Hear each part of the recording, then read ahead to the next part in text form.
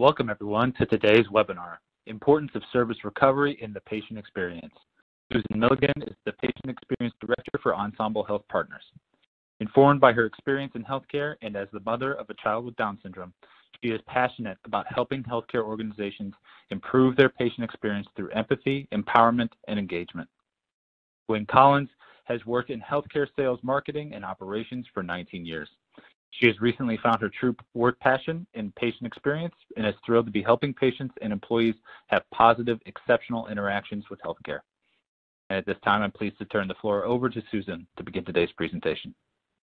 Thanks, Brian. You know, let's first start by defining what patient experience is so we're all on the same page. We have adopted the definition of patient experience from the Beryl Institute, and they define it as the sum of all interactions shaped by an organization's culture that influence patient perceptions across the continuum of care. Well, what does that mean? Well, it means patient experience is everything. It literally starts the moment someone decides to seek care, and it doesn't end until that final bill is paid in full. And it's about every interaction in between. And when you're thinking about those interactions, think about the fact that it's not just about the face-to-face interactions. It's about every email. It's about every phone call. It's about every time they're driving down the highway and they see a billboard with your hospital's name on it. Every time they're on your website. All of that feeds into their experience with us. In addition to that, the culture of your organization feeds into the experience. What is your team talking about when patients are on site? Are they overhearing positive conversations and positive handoffs, or are people complaining about their jobs in the bathroom? That has an impact on their experiences as well. Now, think about perceptions for a moment. The one thing you have to understand is that patient experience is not based on reality. It's really based on perceptions. It's what that patient understood, what they felt, and what, what they walked away understanding at the end of their encounter with us. And lastly, it's about the entire continuum of care. It's what happens as they're calling to make that initial appointment. It's what happens once they're on site, including the delivery of the medical care, and what happens all the way through until that final bill is paid in full. And so we have to pay attention to all of it. Now, at Ensemble, we really believe that patient experience is a function of three components empathy, empowerment, and engagement. It really all starts with empathy. It's your ability to sense and anticipate a patient's spoken and unspoken needs. And once these needs are discovered, we empower our teams to make a difference by encouraging outside of the box thinking to improve processes, work environments, and experiences. Team engagement is also critical to our process, and we stress the importance of open communication, initiative, and development. So Gwen, how does this translate into operations? Thanks, Susan. First, let's talk about empathy. Empathy is feeling with someone, and healthcare is expensive. Any organization who develops associates to understand the impact that medical costs have on a patient's livelihood is not only going to have successful patient experience scores, but improved point of service collections. After all, point of service collections are not just about collecting dollars, but a critical piece of patient education on their personal insurance benefits and financial liabilities. Ensuring your staff is properly trained to recognize opportunities that will create a world-class patient experience is the foundation to success. Next, employee engagement is a critical driver of patient experience. The higher the level of engagement, the more willing employees are to deliver an outstanding patient experience. Organizations that focus on employee participation and involvement in decision-making processes are the ones most likely to experience long-term success. And lastly, it's time to realize the power behind empowering your team. For teams to be truly empowered, they must have authority, resources, information, and accountability. Empowered teams excel at service recovery because they've been given the permission and the trust to do the right thing. So why is service recovery so important to an organization? Eighty-one percent or 8 out of 10 patients are not satisfied with their healthcare experience. And given that the lifetime value of a patient is $1.4 million, that could quickly add up to a staggering amount of lost revenue. Are you investing the time and resources into your associates to ensure that your patients don't walk out the door unhappy? Because, after all, there are no third chances. You know, we believe that service recovery shouldn't be reactive. As part of our patient experience program, we provide in-depth training using proactive service recovery tactics dedicated to improving experiences. The very term service recovery implies that service has failed and needs to be regained. Proactively using service recovery techniques will establish trust, build connections, and inspire patient loyalty. Our definition of service recovery was up on the previous screen, but I really want you to remember it like this. It's two parts. The first part is putting out the fire right in front of you. It's identifying what went wrong and solving their problem in the moment. And we do a great job at part one because we do it every single day. But part two is actually going back and stopping the fire before it can burn somebody else. It's resolving the issue and putting a stop to it so it doesn't continue to happen. And we do a terrible job at part two. And the reason we do such a bad job at part two is we think it's somebody else's job. We think if we reported it, we've done our part. But the reality is, if you really want to get serious about service recovery, you have to stick with it all the way through to the end. And this is where empowerment comes into play. You have to empower your team to use the four A's of service recovery. Now, we'll be taking a deeper look at the four A's of service recovery later in the presentation. But for now, here's a sneak peek. Anticipate to realize a need beforehand giving them everything they wanted before they even have to ask for it. Be intuitive. Acknowledge the ability to show that something has been noticed or recognized. This is also a time for self reflection. The apology, an expression of regret for something that has gone wrong, and it doesn't necessarily mean agreement. And lastly, the amendment, to make better or improve. This is the heart of service recovery and patient experience. You know, we have a motto in patient experience. We always say, if you can see it, if you can hear it, or God forbid, you can smell it, you now own it. And Gwen has an amazing story to share with you about how one of our team members took this motto very literally. A few months back, a coworker of an associate shared with us this amazing story about service recovery that we like to refer to as the incident. The incident took place at a busy, freestanding outpatient facility that primarily serves an elderly population who oftentimes have difficulty getting around. And because this is a freestanding facility, they only have environmental services available after hours.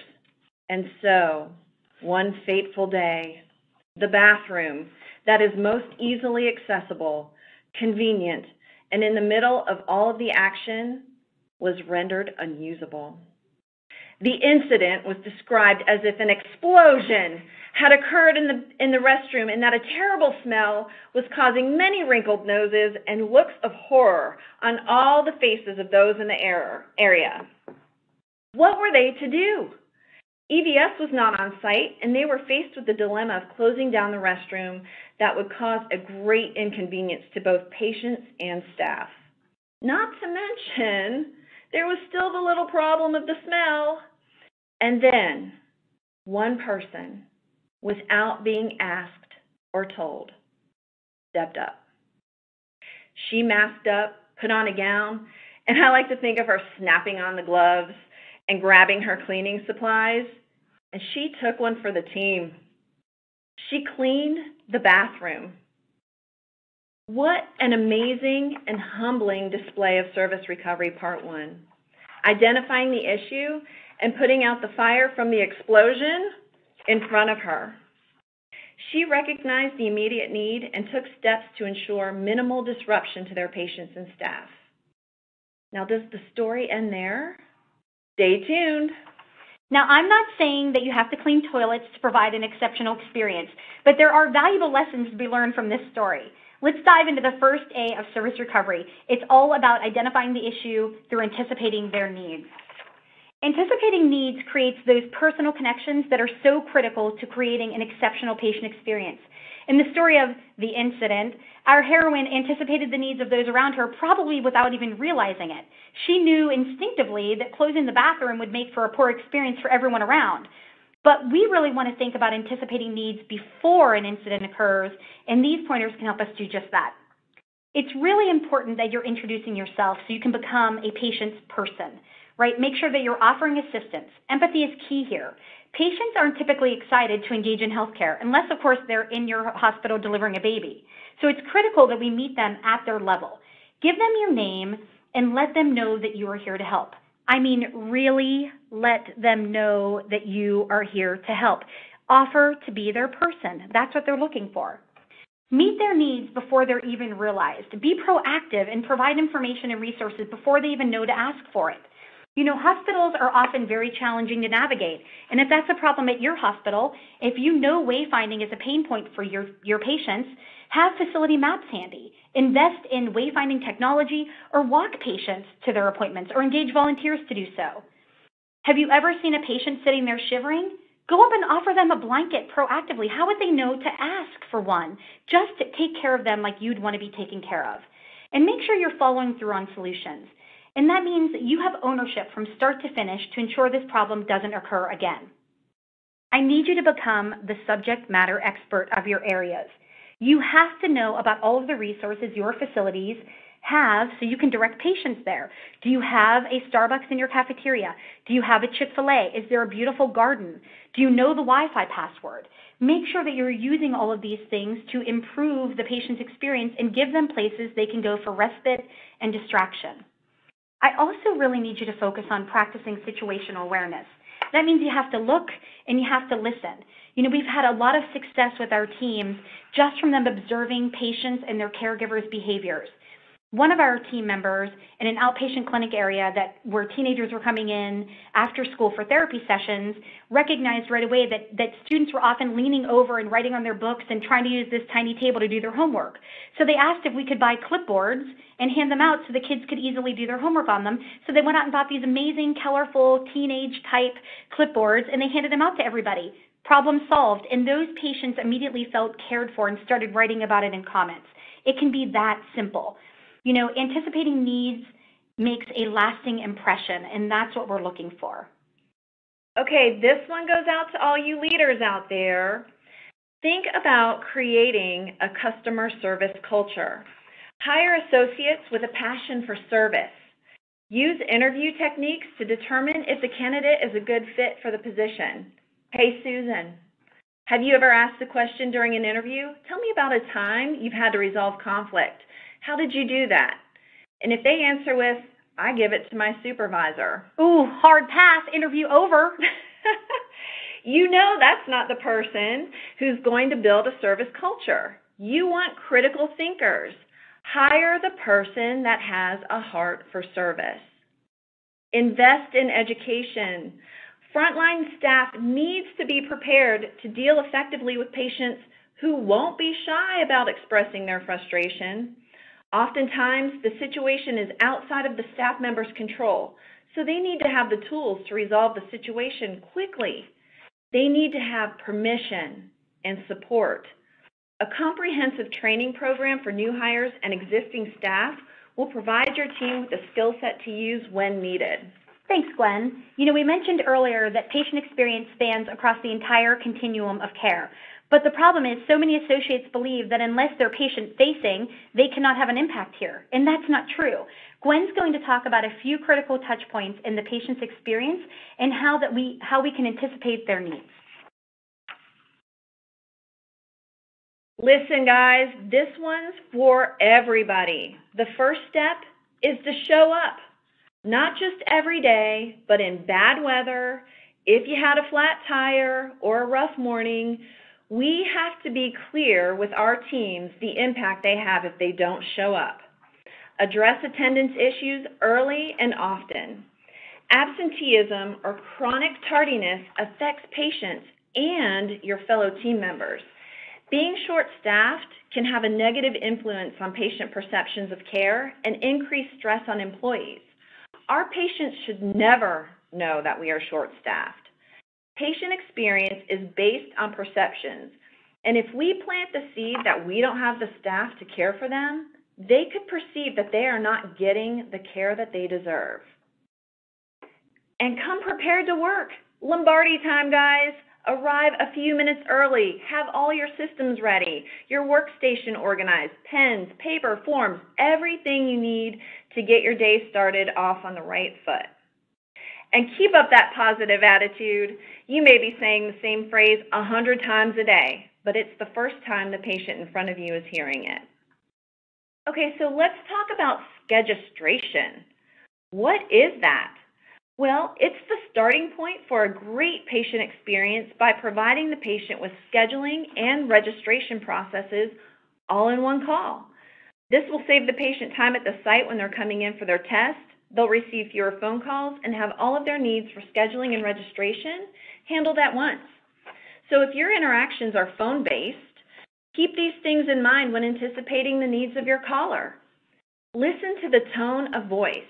Do they sound nervous, confused, or scared? Pay attention to when they want the appointment. Does the caller have a sense of urgency? Imagine that you're the parent of a child whose pediatrician said, Your child needs to see a specialist right away. And when you call to make that appointment, you're told it's three months out. Are your teams prepared to discuss options? Can they offer another location within the health system? Is there a waitlist option?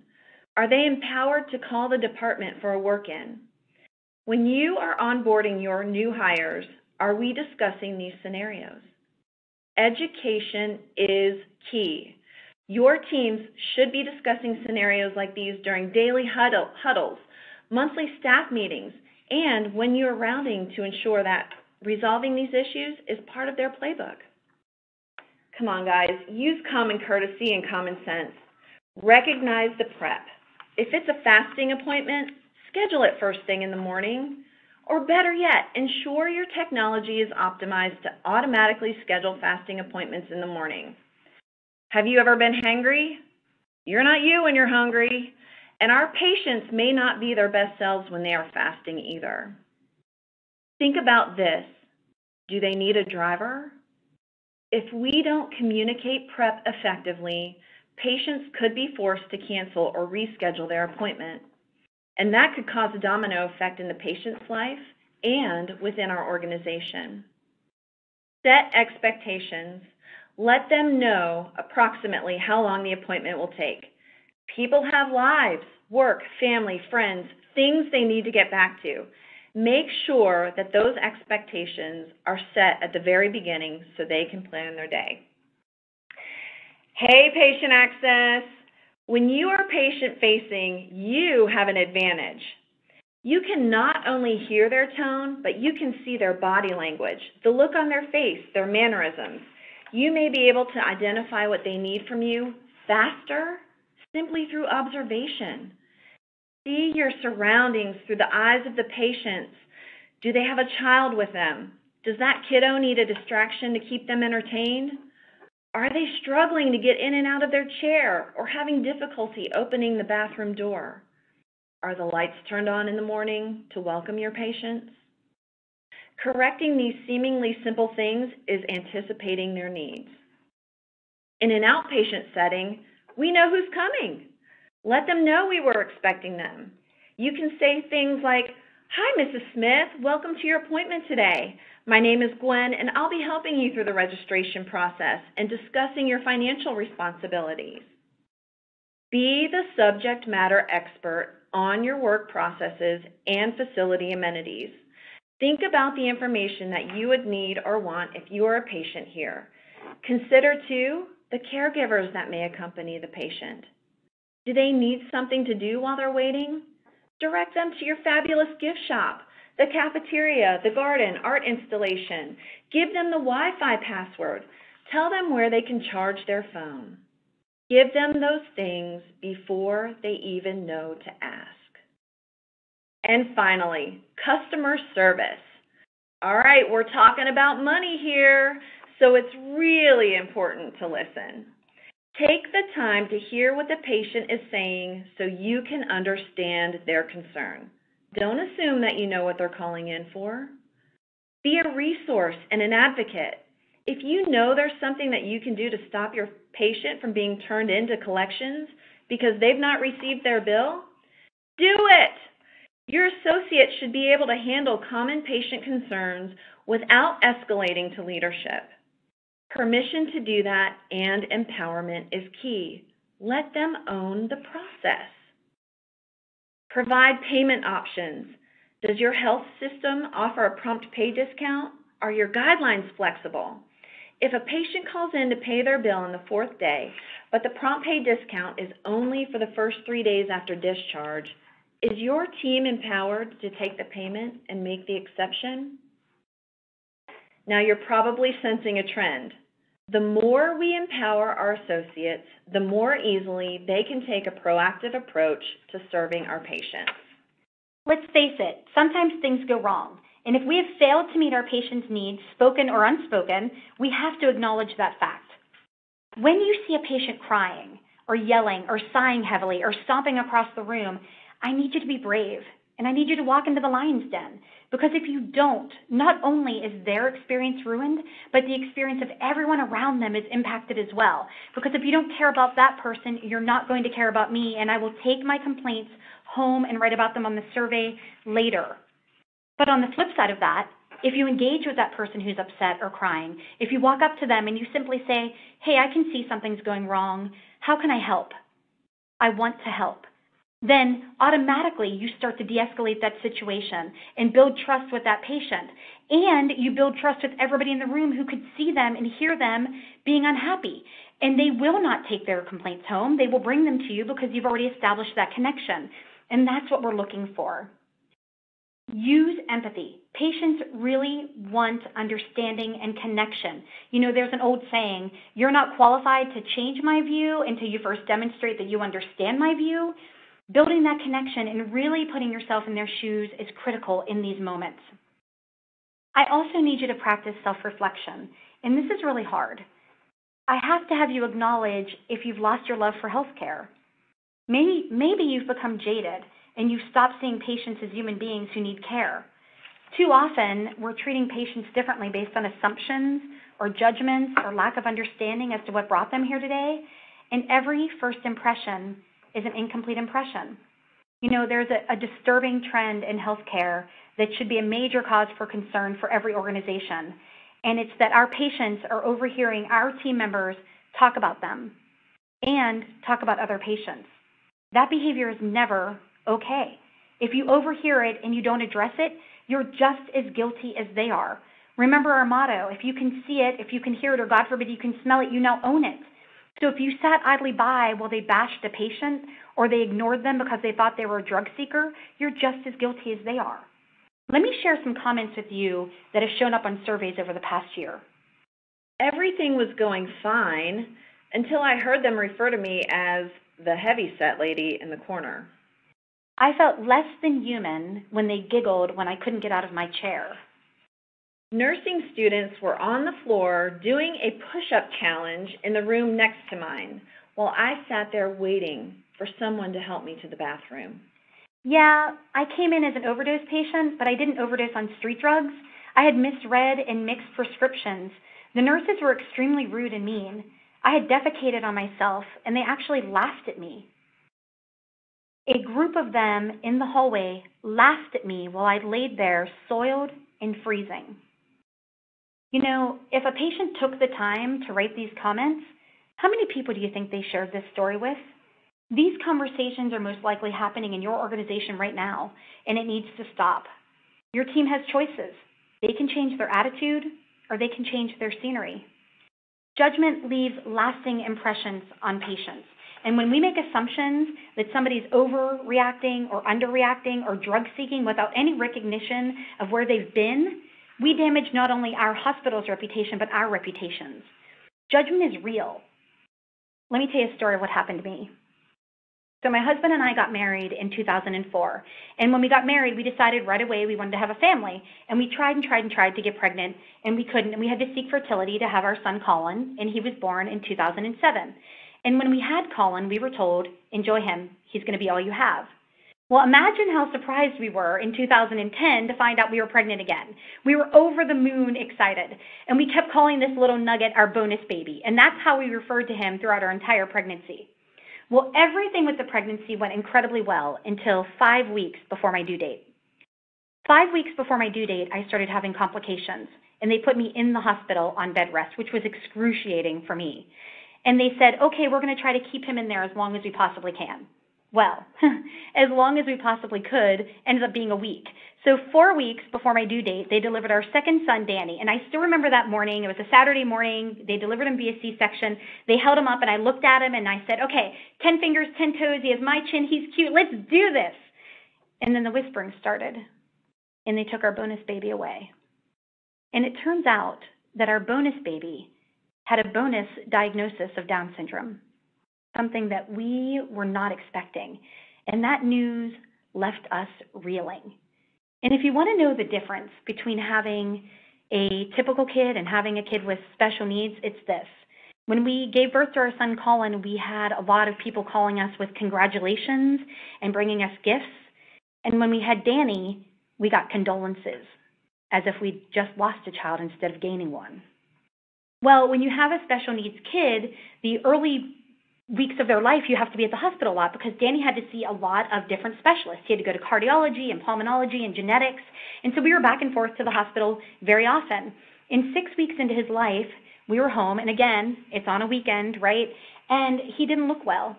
He was really pale and his breathing was really shallow.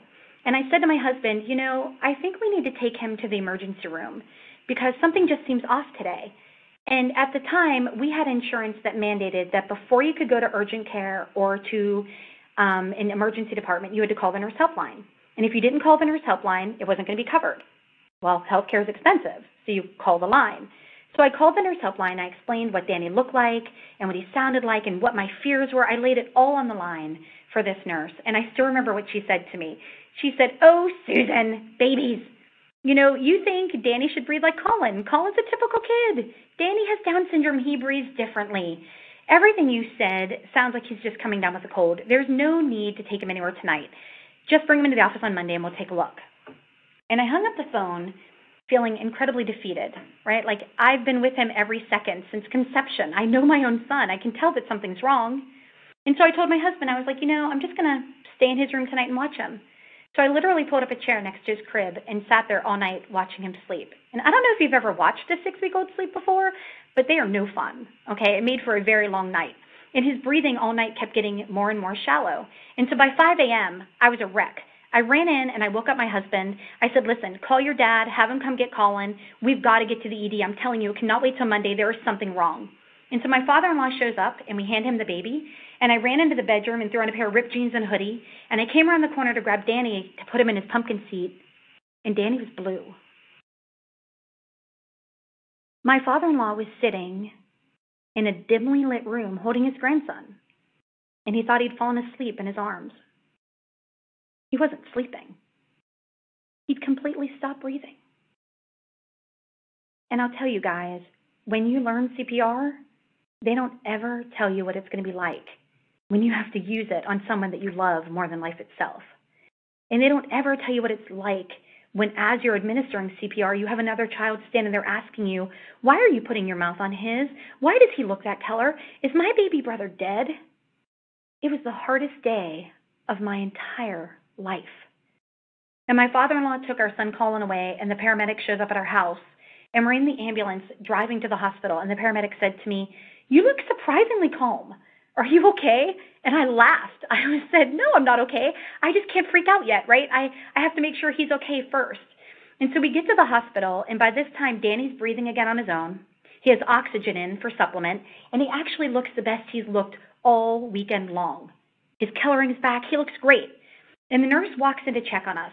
And I chose that exact moment to have an epic breakdown. I was hysterical. I was screaming and crying and sobbing and shaking. I could not get myself together. And the nurse looks at me in that state. And she looks at Danny in his crib looking perfect in that moment. And she said, He's fine. Because she judged me. Because she didn't know that I held him in my arms lifeless an hour ago. She didn't know that I hadn't slept in 24 hours. She didn't know that he wasn't even supposed to be a part of our family and how blessed we were to have him. She judged me based on what she saw in that one moment in time. And the reason I share that story with you is that happened 10 years ago. and I can still feel it like it was yesterday. What kind of stories are people telling about you? Because they're telling stories. Don't think for a second that they're not. And you don't want that to be your story. You want your story to be he held my hand when I was scared. She called my friend so I didn't have to be alone. They brought me a warm cup of coffee on the coldest day of my life. Those are the stories you want to have told about you, not one that still brings tears to somebody's eyes 10 years later. And here's the thing you get to decide what kind of stories they're going to tell. Are you going to lead with judgment? Or are you going to lead with empathy? Make the right choice. That's a great point, Susan. You get to decide what kind of stories they're going to tell. And one of our leader tips is to model behavior. And just like patients are watching us, your team is watching you.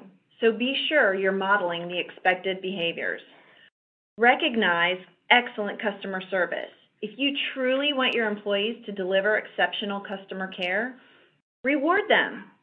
And while your thoughts may automatically turn to monetary rewards, don't underestimate the power of verbal praise and recognition. Having a reward system in place will not only inspire your team to deliver positive experiences, but motivate them to resolve service failures when they arise.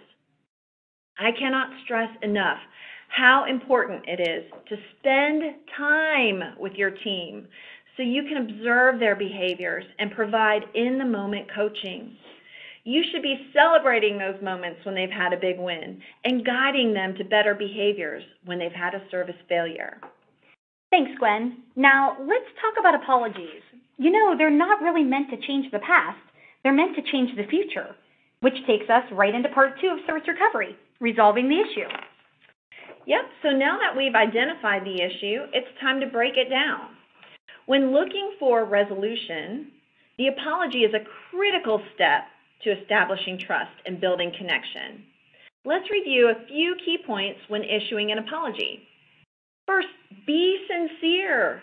If something has gone wrong and an apology is in order, you can sincerely say, I'm sorry. That isn't the experience that we want you to have.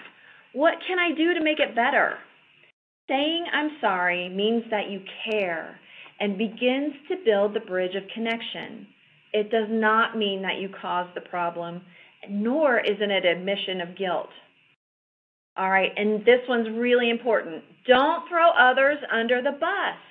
Remember in part one, anticipate, it's our job to determine root cause and follow through on solutions. If there's a known issue with the process and we've not done anything to fix it, we are equally responsible for the problem. And come on, guys, don't overshare. Our burdens should not be the patient's burdens.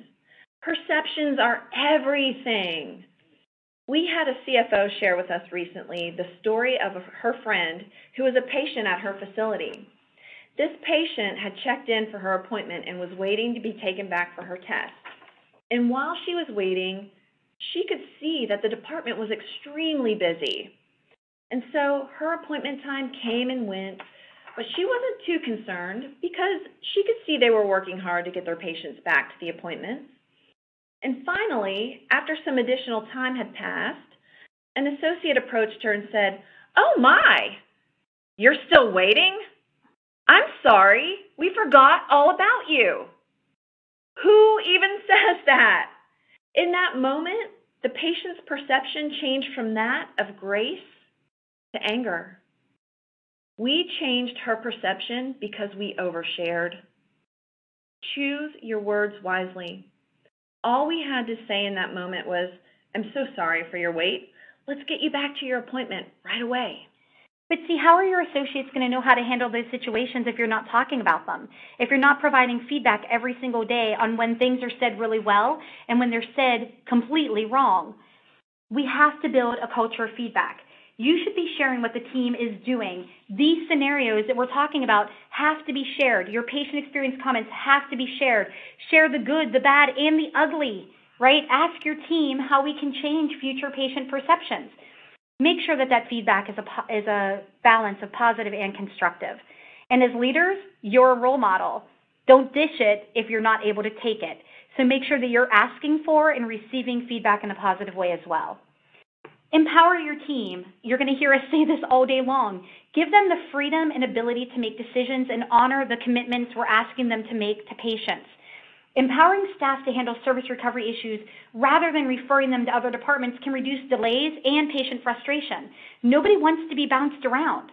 Give them clear instructions and the confidence to employ service recovery techniques.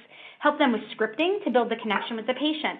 And give them permission to apologize to the patient without accusing them of having done something wrong. Understand that empowerment also feeds engagement, which in turn improves work effect effectiveness. And remember, the apology builds the bridge to the amendment. Here's the thing. You can apologize over and over and over again, but if your actions don't change, the words are meaningless. It's time to resolve the issue. The amendment is the heart of service recovery and of patient experience. It's you putting out the fire once and for all. It's time to end this pandemic. And no, I'm not talking about COVID. It's time to end the business pandemic of it's not my job. Make sure your team understands the difference between a job and a role. When we talk about patient experience, we always say patient experience is everyone's responsibility. It's everyone's job to ensure that our patients have outstanding interactions with our organization at every touch point. Whether you're an executive or an associate, in pre-access or billing, your job is to contribute to the company goal of providing our patients with a positive experience. However, everybody fills a different role in making that happen. So for example, if you're a patient access representative, your role is to register patients. But wayfinding could be really difficult at your facility, so you might be asked to escort a patient to their appointment. And while escorting a patient is not part of your defined role, it is your job to ensure the patient's needs are met and to uphold the goal of providing exceptional patient experience. It's really important to understand that you may be asked to use your skill set outside of your role to contribute to the success of your organization. And here's how you're going to do it. Be informed. Ask patients how they would like these issues to be resolved. Collaborate with your family advisory council. Ask the team what's trending and what their suggestions are. They are the subject matter experts. They have their ear to the ground every single day in the departments. They know what patients are asking about, what they're complaining about, and what they want. Take action. Do not let the patients leave unhappy. Solve everything you possibly can in the moment, or at least provide a timeline for having it resolved. Please make sure you're executing. We do a lot of talking and not a lot of execution. Make those process improvements. Implement the fix. It's our job to see it through to ensure that the same issue doesn't happen again and again. And if we are recovering a service failure, a patient might give us a second chance, but as Gwen said earlier, we may not get a third one. Communicate. Share your organization's success by posting information on social media. Display patient testimonials on digital signage in your waiting areas, publish things in articles, and share those things with your frontline staff. You should always be talking about the wins of the organization. Having your team be in the know of all of our community efforts just makes them stronger in their ability to be a subject matter expert and communicate that to the patients. Not only is this going to help you make amends when you need to, but remember part one, it also is going to help you anticipate their needs to assist in the prevention of future service failures. Throughout this presentation, we've been sharing the importance of your teams having the tools and resources they need to do their job and practice service recovery. We can accomplish this through the use of engagement advisory groups, or EAGs, as we like to call them. These are associate-led groups that focus on process improvement and boosting morale. Frontline staff can provide invaluable insight on where service failures are likely to occur. Having an associate-led team dedicated to continuous improvement is an amazing way to be proactive with service recovery and improve employee engagement. Engaged employees are more likely to deliver better service the first time and utilize recovery tactics if needed. Now, I bet you're dying to know what happened with the story of the incident. Did it end after part one? Nope. Let me tell you what happened. We've mentioned throughout the importance of feedback, right? We've been talking about how you have to let your teams know when they did something well and when they did something that you have to improve. If we don't acknowledge this associate who did this extraordinary thing, how is she going to know how much we appreciated it and that we want her to keep modeling those behaviors? So I decided to drive out there. That facility was only an hour from my house. Um, of course, I had to bring a gift, right, to the person who would glove up and tackle an explosion like that. Please note the poop emoji in that basket up there. I couldn't resist, right? Who could? When I met this associate, after thanking her for such an amazing act of service recovery, I had to ask, what happens if this happens again? Are you prepared to glove up every single time? And her, her answer confirmed the culture of accountability we've created is working. She said, Oh my gosh, no, I really don't want to have to clean the bathroom again. I contacted EVS and I explained what happened, and I asked if we could set up a hotline that would dispatch somebody from the main hospital up to this site in the event that it ever happened again, and they said yes. And so then I emailed everybody on the team who works at this facility so they knew what to do if it ever happened again. That's part two of service recovery. Notice she didn't say, I told my boss to fix it, right? She called EVS on her own. She didn't ask for permission, she just took action. She owned it all the way through to the end. Don't you want associates like that? In healthcare, service recovery can cover a multitude of issues that range across the continuum of care. From the time of scheduling to wait times and registration, and all the way through to billing and payment, any disruption to the patient's expectation of care versus the delivery of care can create a situation where they become unhappy or dissatisfied. It is critical that we employ proactive techniques to get things right the first time. However, there are times when the, when the delivery of service fails. We are human after all. These failures, when handled appropriately, are opportunities to establish trust build a deeper connection, and inspire loyalty with our patients. You know, studies have shown that a successful service recovery can not only restore a dissatisfied customer to a state of satisfaction, but can also make him more committed to the service provider. If you remember, the lifetime value of a patient is $1.4 million. It's time to make the investment in doing it right the first time and having them come back. Let's open it up to some Q&A. Thank you so much, Susan and Gwen, for that great presentation. We will now begin today's question and answer session. Please submit any questions you have by typing them into the Q&A box you see on your dashboard, and we'll try to get through as many as we can. So the first question here is, the attendee asked, there is obviously a focus on healthcare here, but how do you anticipate needs in other areas? You know, that's a great question. I I work with a lot of friends and I, I, work with a lot of people and I have a lot of friends outside of healthcare.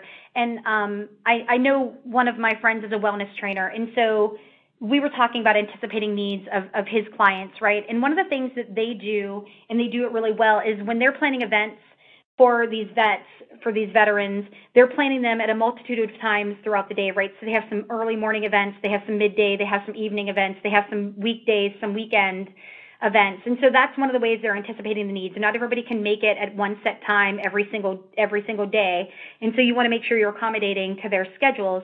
The other thing that they do, and they do it really well, is that they're already putting out adaptive um, options for challenges. So if you're doing a 100 mile run challenge. They're doing adaptive for people who might not be able to run 100 miles, and so that you might be able to walk, or you might be able to wheel, or you might just do some sort of exercise for X amount of minutes. And so I like that they're looking at it from the standpoint of this isn't going to fit everyone. How can we make it fit for everyone, though? You know, and so that's kind of what we're looking at. Well, thanks for that added clarity there. Uh, the next question I'll jump to is the attendee asked, I'm interested in learning more about engagement advisory groups. Can you provide us with an example of success you've had with those groups? Absolutely. You know, most recently, we've had some amazing success with our Speak Up survey results. One of our clients who had implemented an engagement advisory group saw an increase in 14 out of the 16 categories on their Speak Up survey. And some of those categories improved by 10% just by implementing engagement advisory groups. Our teams have really created a lot of process improvements, and I'm going to let Gwen tell you a little bit about some of those. Yeah, thanks, Susan. One of the most exciting things about engagement advisory groups is just seeing the teams really um, come together and mature as they uh, form these groups. And they really get excited about process improvements. And I'm not just talking about um, initiating smart phrases in, in the Epic system to make their, their workday more efficient. I'm talking about they've actually made facility type improvements Uh, one particular EAG that we have has proposed to leadership of, of getting an automatic door opener in the ED where patients were struggling to open the door. And, um, and leadership has been really responsive. And when that happens, it's almost like Christmas morning, right? You see uh, the light on the employees' faces, and they know that they're making a difference. So, if you truly want your your team members to become engaged, you have to give them ownership over those processes and uh, let them run with it. Thanks so much for for sharing that experience, and we've had a ton of great questions come in. So, really, really love to see this kind of engagement. Uh, the, the, the, next question we'll take is the attendee asks, one of the hardest parts seems to be the real-time coaching. How to effectively call someone out on what they said, how they behaved. What strategies have you used? So we have a really nice audit form in place, and we periodically just round. We'll just show up at a facility and, and start observing staff and create that. And the important thing that, that we have recognized is that you can't just bash somebody, right? everybody's doing something well and so you need to find out what that is and really and really make sure you're encouraging them through explaining what it is they did well but then just pointing out one thing that you want them to change you can't come into a facility and tell somebody you did only one thing out of 15 correct so you want to say, okay, you did this really, really well. Next time I want you to work on this one particular item. And then when you come back, all right, you're doing these two things well, and you just keep adding on to it. The audit tool that we have is great because any leader can use it when they're rounding, just day-to-day rounding, and then we use it when we come on site. And you can give a copy to the associate as well so they know what they're working toward. And I'll just chime in here too. One of the things, one of the techniques that I like to use when um, I was involved in operations was I would sit with my representative and say, tell me what you think you did really well and tell me what you think you could have done better. And so um, having them do that self-reflection and kind of analyze through uh, the conversation that they had it's not you know putting them on the spot. It's getting them to change their their mindset and change their way of thinking. So i really i really found that technique useful. Excellent. Uh, definitely very helpful to to hear that. Uh, the, the next question we'll take is the attendee asks service recovery is so important but to what level do you recommend we promote this service to your patients and the overall community proactively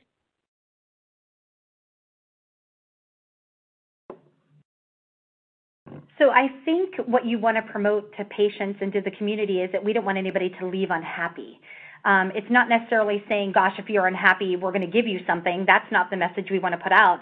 But what we want to do is arm our team with tools, um, you know, coupons or the ability to give somebody, you know, a drink um, or a blanket and, and resources so they know how they can solve those in the moment.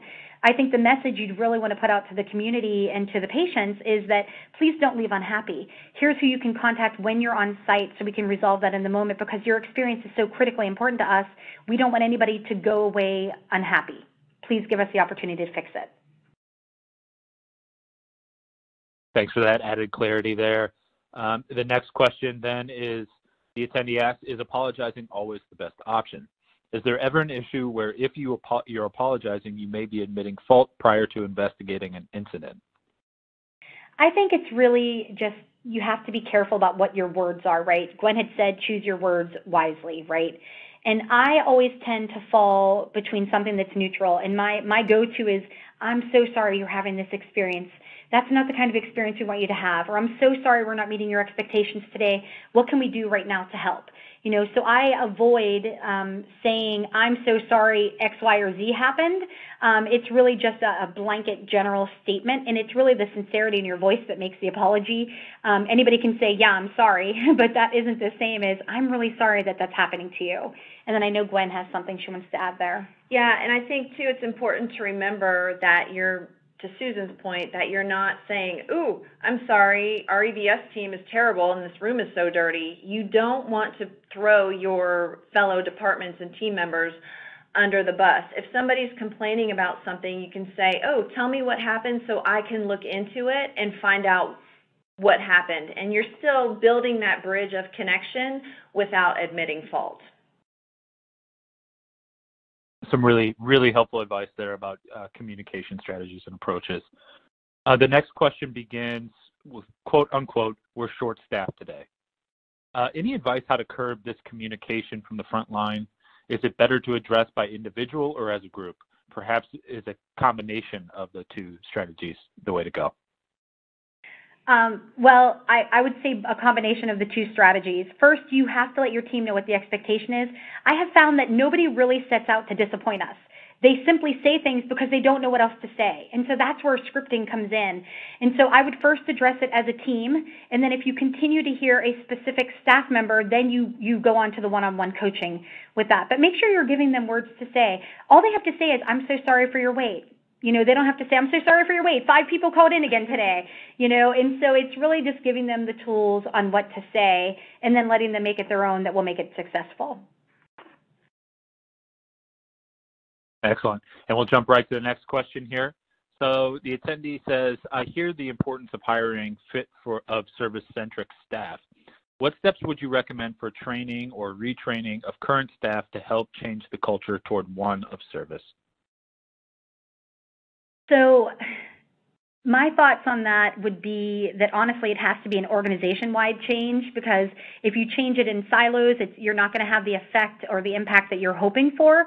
So my preference would be that organizationally we, we require everyone from EVS to protective services to patient access to nursing to physicians to attend the same type of training and actually attend them together, not in groups, but like in departments. So everybody from ED goes and they go together so they can see how EVS might manage something and how a physician manages something, and it just sort of builds those teams. And then it would go into like departmental training rather than doing it. But it really has to come top down organization. But if you can't have that, if you can't make that happen, and that happens a lot, then really just re engage your entire staff and get them the education that they need because again, I don't feel like they're setting out to disappoint us. I feel sometimes they don't know the expectation. And so we have implemented a mandatory training that's an introduction to patient experience and service recovery that every new hire at our company is required to attend within their first 30 days. And that just lays the expectation for everyone across the board, no matter what level you are, on what our goals are and what our expectation, expectations of behavior are. And just by doing that, it makes the coaching, the one-on-one coaching easier because now everybody's gotten the same message, they know the same standard, and addressing that make, is easier to do. And I think too, to piggyback on what Susan is saying, you have to have that culture of accountability as well. So you can do training all day long, but if there's no inspection of your expectations, how do we know our team is performing to the to the standards that we want. So, um, you know, of course, you want to do the training and you start building that culture, but you also have to uh, be open to feedback and, um, you know, routinely round with your team, ensure that they're doing and modeling the behaviors that you expect them to do. So, so this next question then uh, directly gets to sort of the, the cultural change of, of accountability. So the attendee asked, how do you approach a culture change of having accountability with a seasoned group of staff? A group that may be stuck in their ways, it may have lost that quote unquote heart for healthcare. So our we call our training kind of a refresh that we do because if you you have to give them something that makes them feel why they chose healthcare to begin with. And so if you can get them into a room and have and share the comments, right? Share patient patient testimonials that are heartbreaking, right? That are both positive and negative and and really speak to what's going on. I think that helps sort of break down that barrier that they have built up and they're leading with sympathy more than empathy. And and so I think that's probably the first step. I think I think the other thing is you have to again lay that expectation because if you've allowed them to have these poor behaviors all this time, you can't come out of the gate just you know, holding them accountable. You have to let them know, gosh, we're, you know, we're changing our standard of care and this is what we want going forward. I want to make sure everybody understands what that looks like and what that sounds like and here are the consequences if we don't deliver on that. I think you have to be very forward in what you're telling them about. Yeah, and I'll and I will chime in and draw on my time um, managing operations. You know, don't shy away from those difficult conversations if you notice that you have a seasoned team member who is stuck in their ways and may have lost their heart for healthcare, have that conversation with them. Say, hey, I noticed that your tone of voice or, you know, your attitude or your actions or, or whatever that may be has, has changed. You know, what's going on with you? What's, what's happening? And then I use this question with some of my former team members um, several times. I asked them, I said, what brings you to work every day?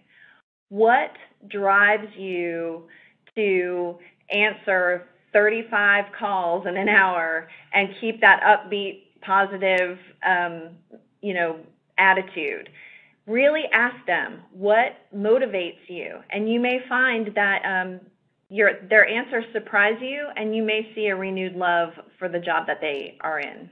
Yeah, and to Gwen's point, it's really hard to provide feedback or accountability if you don't have a relationship with that person. So if you're not spending time with your team, if you're not consistently observing them doing things well and doing things, you know, not as great as we'd like for them to do, then it's harder for them to take that feedback from you and it's harder for you to hold them accountable.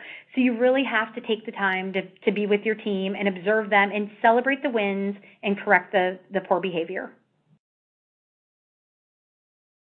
Thank you both for, for tackling that one. As we approach the end of our, our time here, uh, we'll, we'll, probably just have a few more minutes, so uh, just a couple more questions. Uh, the next one I'll throw out there is the attendee asked, what are your thoughts about measuring things like what percentage of patients who turned in negative feedback had service recovery and how long it takes for service recovery to be completed? I mean, I think any time you can you can provide measurements like that, I think it's I think it's always a great idea. You have to understand patient experience is based on perceptions, right? And so just because there's a negative comment doesn't necessarily mean that something was broken or even went wrong. It could be a perception issue. So what we have found really helpful is when you're sharing those comments and you're trending them, and you should really be looking at comments, you know, every couple weeks um, and not just the comments that are for your, you know, for the nurses or for patient access, but the comments for the entire department because patients are going to write about whatever they want to write about anywhere. They're not going to keep it in the section that we tell them to keep it in. But when you're reading those comments and you're trending them out, the question should be, you know, I'll, I'll say a couple things. One, if you get a negative comment, you have to investigate. You cannot just assume that the patient was right and that everything they said is right. So you have to give associates sort of the benefit of the doubt and assume positive intent because again, just because the patient's perception is it went that way doesn't mean that that was reality. So what we have to work toward then is changing their perception, and that could be that we have to tweak our behavior. So having those conversations one-on-one with someone who received a complaint is really important. But then as a team, sharing, you know, this is how many negative comments we had, and here's what was trending. How can we change their perception on that is equally important too.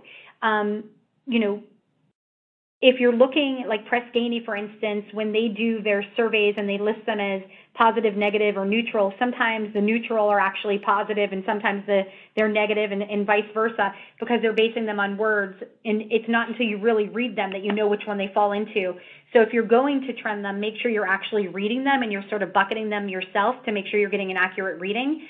But, you know, I think measuring them and tracking them is a great idea and talking about what can be used for service recovery because I think sometimes we think patients want one thing, but they don't. And so that's where you it comes into asking, you know, what would have made this better? What would you expect if this service failure happened to you? And you can engage a family advisor group for that. And I think too to address the the what I think is the second part of the question is if you have a response time of 24 or 48 business hours or whatever that is, make sure you're sticking to that. If you tell the patient, I'm going to get back to you in 48 hours or, or two business days, that you do it. Even if you don't have an answer, you may, some some issues may take a little bit longer to investigate, but if you don't have an answer, make sure you follow through and let that patient know, hey, I, I we have not reached a resolution yet, but um, I'm still working on it. I just wanted to let you touch I wanted to touch base and let you know where we were with this. Absolutely. Excellent. And you, we are about out of time here, so I'm going to go ahead and wrap things up. Susan and Gwen, you did such a wonderful job uh, with a great presentation and, and, tackling all these questions. And thanks to our, our wonderful attendees for all this engagement. Uh, I also want to thank Ensemble Health Partners for sponsoring today's webinar. Enjoy the rest of your day, and we look forward to having you join us for future webinars. Thanks, everyone. Have a great day. Thank you.